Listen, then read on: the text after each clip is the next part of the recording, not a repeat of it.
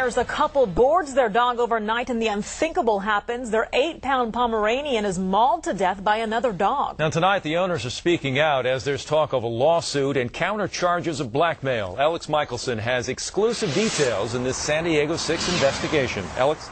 Jim and Heather, when that couple came here to Camp Diggity Dogs in Sherman Heights and rang this doorbell, little did they know it would be the last time they'd see their dog alive.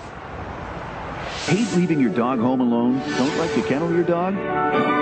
From the TV commercial, Camp Diggity Dog looks like a perfect overnight spot for your pooch. Ty loves Camp Diggity Dog. Fiancés Ryan Messenger and Laura Hilts brought in their five year old Pomeranian Bailey. A day later, the owner called them crying.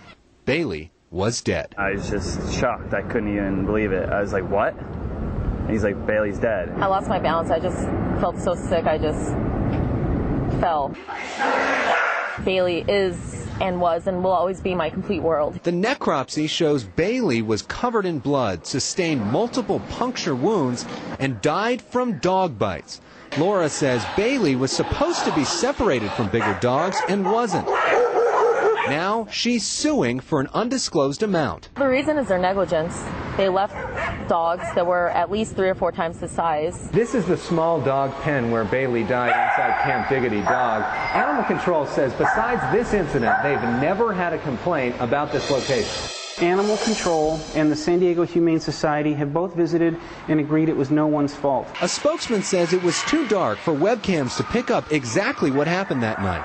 But he suggested Ryan's English bulldog may have killed his companion. Unfortunately, the dog that died never made enough noise to be heard. Camp Diggity Dog also claims that Laura and Ryan's camp tried blackmail. The owners have threatened to go public unless we give them $20,000. But Bailey's owners claim the opposite is true. I was specifically asked not to go to the media. In an email sent to Ryan, Camp Diggity Dog says someone will now always be outside the dog pen 24 7 what they're calling Bailey's Rule. There's no rule that could bring him back. Elex Michaelson, San Diego 6 News.